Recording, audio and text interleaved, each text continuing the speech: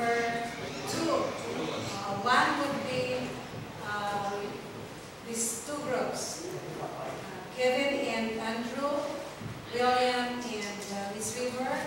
Then uh, two will be Henry and Tracy. you will have also Nara and Peter. You will have three, David and... Uh,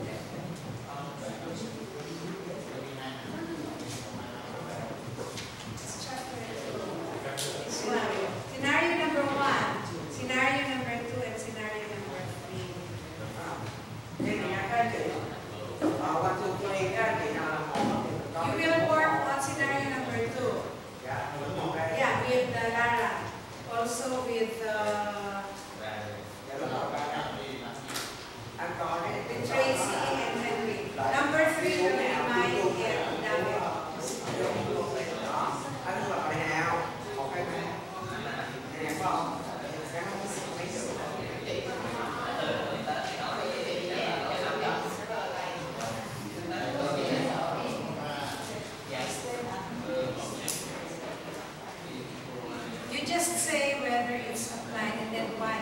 Why do you say it's applied? Why could it be